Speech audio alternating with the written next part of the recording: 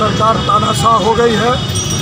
आज पूरे प्रदेश में हाहाकार मचा है। कहीं बलात्कार, कहीं हत्याएँ, कहीं फर्जी इनकाउंटर हो रहे हैं। इसी, इस ज़िले में अमर बहादुर पटेल, प्रतापगढ़, सुशील पटेल जो अधिवक्ता है, इलाहाबाद, कल हत्या हो गई।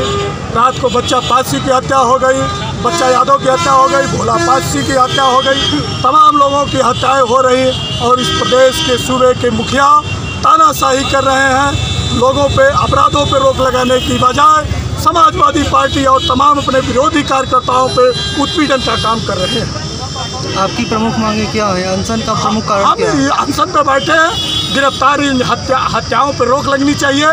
सुशील पटेल के हत्यारे को गिरफ़्तार किया जाना चाहिए।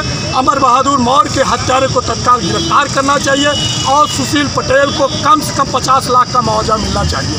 ये अधिवक्ता रहे मेरा नाम धनीलाल यादव।